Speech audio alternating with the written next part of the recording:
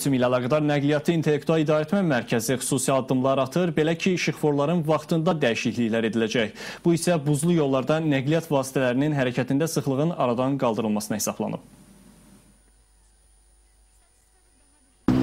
Payız-qış mövsümünün gəlməsi ilə əlaqədar olaraq Nəqliyyatın İntellektual İdarəetmə Mərkəzi gücləndirilmiş iş rejiminə keçib. Havanın tez qaralması və insanların eyni vaxtda işdən çıxmasını nəzərə alaraq avtomobil sıxlığı yaranmasın deyə işıqforların vaxt qrafikində müəyyən dəyişikliklər olacaq.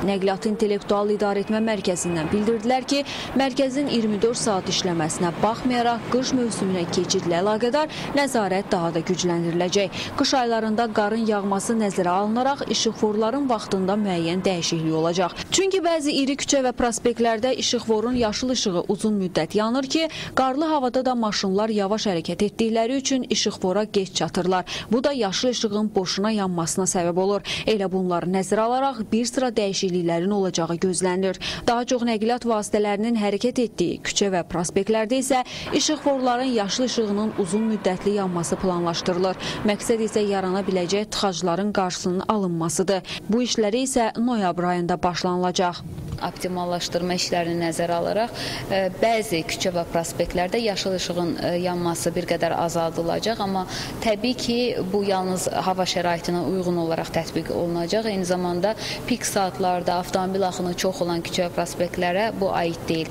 Ehtiyac olan bütün küçə və prospektlərdə yaşıl normal sürətlə yanmasının təmin olunacaq mərkəz tərəfindən. Hansı küçələrdə işıqforlarda dəyişikliklərin olacağı barədə isə yaxın vaxtlarda məlumat veriləcək. İşıqforların vaxt planının dəyişdirilməsi ilə bağlı araşdırmalar aparılır. Hazırda siyahı hazırlanır. Siyahı məlum olduqdan sonra konkret işlərə başlanılacaq.